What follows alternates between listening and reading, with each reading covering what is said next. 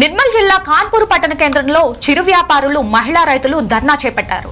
రోడ్లపై కూర్చుని కూరగాయలు అమ్ముకుంటున్న వారిని మున్సిపల్ అధికారులు అడ్డుకుంటున్నారని ఆవేదన వ్యక్తం చేశారు. కూరగాయలు అమ్ముకునే చోట మున్సిపల్ వాహనాలు పెట్టి అన్యాయం చేస్తున్నారని వాపోయారు. ధర్నాతో ఒక్కసారిగా వాహనాలు నిలిచిపోయాయి. పోలీసుల రాకతో మహిళలు ధర్నా విరమించారు.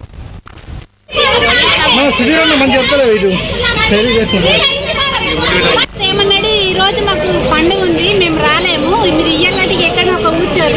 రేపు వస్తే రేపు మాట్లాడతామని అన్నారు.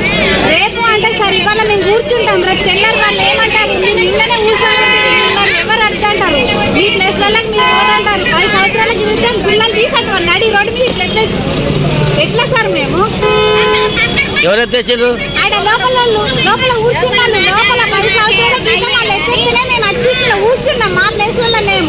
నాలుగు వారాల నుంచి అక్కడ కూర్చోబెడుతున్నాం పక్క సందిలో పక్క సందిలో కూర్చోబెట్టినప్పుడు మరి అట్లనే ఉండాలి కదా సార్? అట్లా కూడా లేదు ఇప్పుడు. అక్కడ కూడా బంద్ అయ్యని లోపలికి మొత్తం అంటారు లోపల మాకు ప్లేస్ ఉండదు.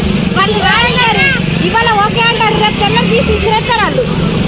మా ప్లేస్లలో మాకు కావాలి సార్ అంటే ఈ ప్లేస్లలో కూర్చుని అమ్ముకుంటున్నాం. పది సంవత్సరాల నుండి లేని కష్టం ఇప్పుడు కొత్తగా మేము కూర్చోవడం వల్ల ఇబ్బంది అవుతుందని మమ్మల్ని లేపేసారు లేపేసి అటు డబ్బలేసారు ఆ డబ్బలేస్తే అక్కడ నాలుగు వారాల నుండి కూర్చున్నాం.